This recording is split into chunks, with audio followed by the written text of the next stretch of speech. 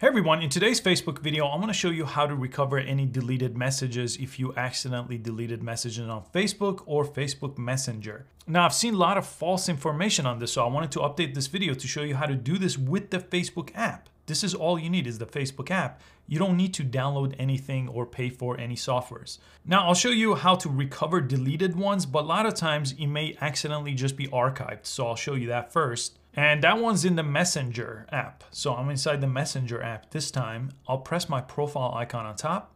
And there's this thing called archive chats. Now, a lot of times chats get archived and not deleted, but I'll show you how to recover deleted Facebook messages too. In this case, press archive and any chat that you see over here is archived and you could bring it back at any time. So to do that, for example, just press and hold and there's this message called unarchive. So this will move it back into your inbox if you choose this option. Now, let's say you looked inside of archive and you did not find your deleted messages. This is what you need to do. This time, go to the actual Facebook app. Okay, so I'm inside of the Facebook app this time. We'll go to the menu icon over here and scroll all the way down here till you find the section for setting and privacy. Extend that out here, and then we wanna go inside of our settings. Now on this page, let's go ahead and scroll all the way down. There's an option that says download your information. So let's go there. And here's what you could do here. You could basically download anything you've ever done on Facebook, okay? Including posts and pages and polls. But messages is what we care about. So to speed up this process, we're gonna deselect everything else. And there's a lot of stuff over here, okay? But we're just gonna select messages and everything else is checked off. Now I'm gonna go to the bottom because we have some settings we have to choose.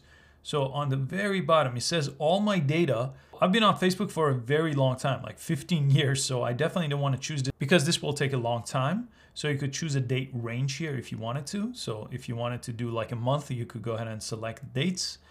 Then you could go ahead and select formats. So there's two formats, but HTML is easier to read. So that's what you'll choose.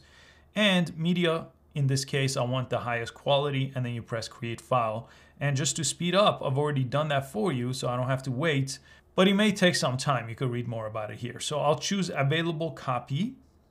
And you can see this one is the one I just created. So I'm gonna press download on here. And then it may ask you to log in using facebook.com here instead of the app. So I'm gonna press download now once I've done that. And the download options usually show up over here, or you could look up an app called Files on your Android or your iPhone to find the download. I'm gonna go ahead and press downloads here. And this is the download here. So I'm gonna press the search option. It's gonna open up the Files app where all your downloads are. And here's my file. It looks like that. So if I tap on it with this file application, again, if you don't have files, it's free. It comes with your phone. You could also get it at the Google Play or the App Store too. It's gonna make a folder. I'll go in this folder now and there's my messages. Now, if you downloaded everything, you're gonna see a ton of different folders.